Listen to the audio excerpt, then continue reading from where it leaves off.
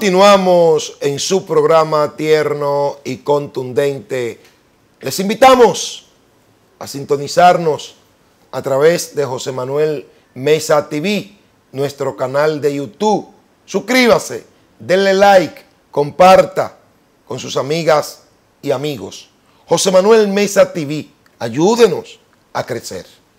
Mira, hablamos del turismo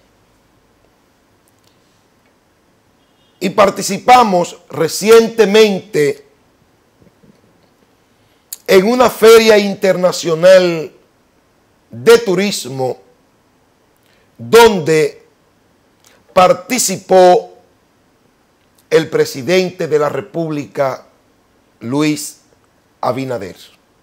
Creo que es la primera vez que un presidente de la República participa en una feria turística.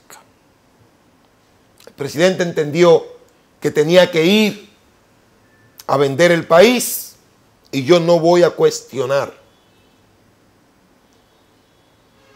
esa actitud del presidente de la República. Aunque no la comparta, no la cuestiona. Pero la noticia de que un crucero encalló en Puerto Plata y que los turistas y tripulantes de ese crucero retornarán a su país de origen en avión o en jet. Esto sí que me preocupa.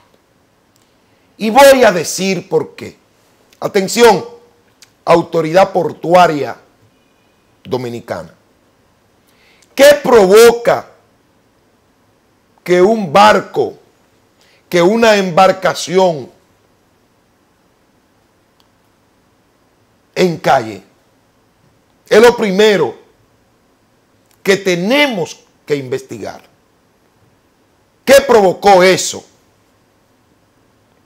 Porque se supone que si hay un parqueo donde se van a estacionar algunos vehículos o hay una pista de aterrizaje donde va a aterrizar un avión o hay un puerto donde va a pararse un barco,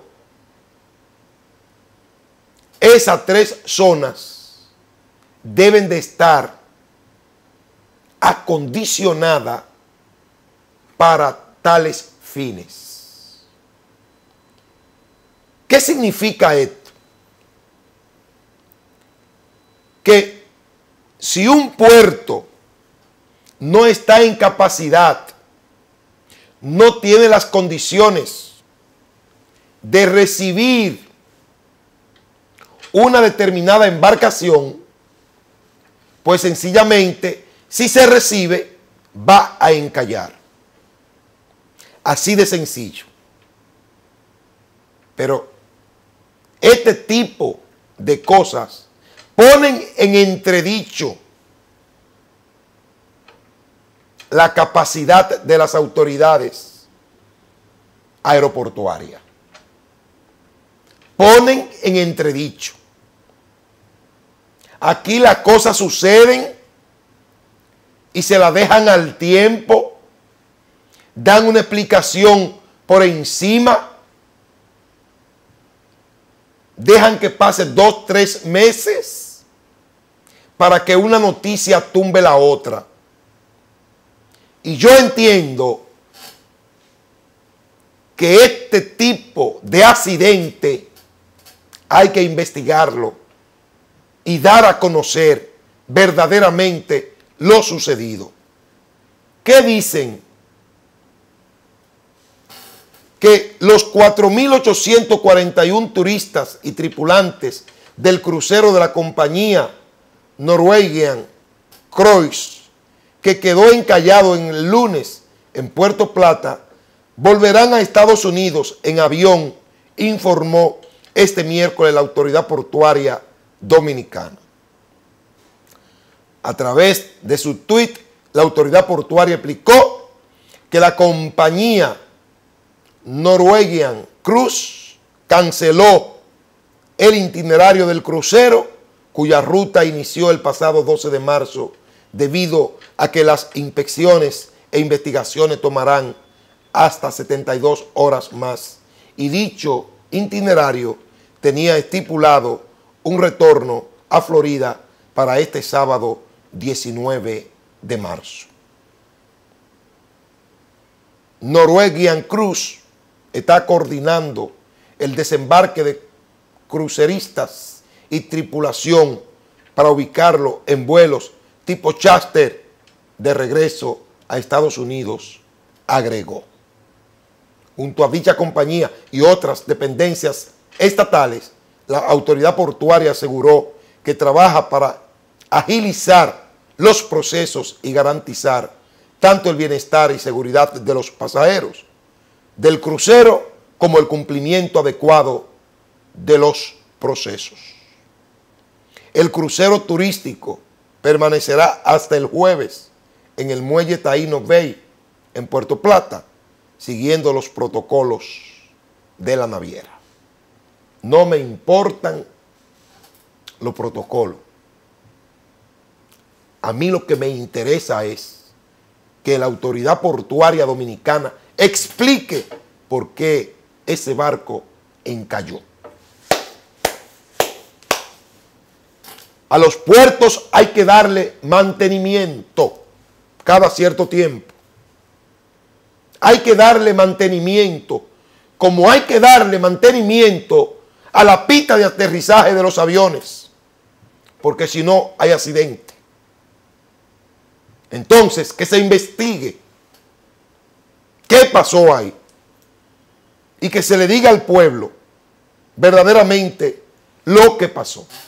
En otra información, el presidente Luis Abinader dice, eliminamos el lujo para aumentar ayudas sociales. Mire, presidente, yo no sé a qué lujo usted se refiere, porque no había visto un gobierno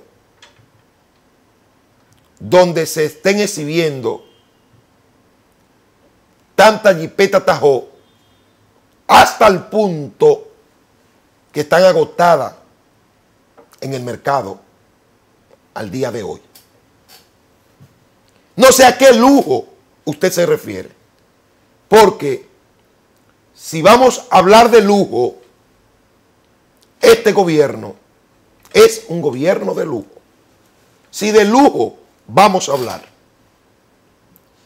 Pero, presidente, no me hable de eso, por favor, cuando los distribuidores de alimentos están de brazos cruzados, que no saben qué hacer y tienen temor de comprar porque pueden quedarse sin inventario. Presidente, no me hable de lujo cuando los productos de primera necesidad no dejan de aumentar de precio. Presidente, no me hable de lujo cuando las medicinas están inalcanzables y los que se enferman, lamentablemente, tienen que esperar la muerte sin poder tratar su enfermedad. No me hable de lujo, presidente, cuando las ayudas sociales del gobierno, perdón, del gobierno, han sido saboteadas y más de 300 millones de pesos han sido saqueados. A esa persona, precisamente, que están llamadas a recibir esas ayudas, presidente. No me hable de eso, presidente, por Dios. Llegó el momento que usted se dé cuenta que usted es el presidente de la República, no el candidato de oposición. Y ese discurso ya usted tiene que dejarlo atrás y ponerse a gobernar. Presidente, gobierne para lo que el pueblo verdaderamente lo eligió, que fue para un cambio. Gobierne dándole comida a este pueblo. Gobierne dándole medicina a este pueblo. Gobierne dándole alimentación a este pueblo. Gobierne dándole transporte, dándole salud. Gobierne, presidente, para bajar los combustibles, para bajar el gas. Gobierne, presidente, para que el pueblo dominicano verdaderamente sienta la mano amiga de un presidente. Señores, por el día de hoy hemos llegado al final. La invitación habilitada para que mañana a las 12 de la medianoche usted sea tierno y contundente. Buenas noches. Felices sueños. Hasta mañana.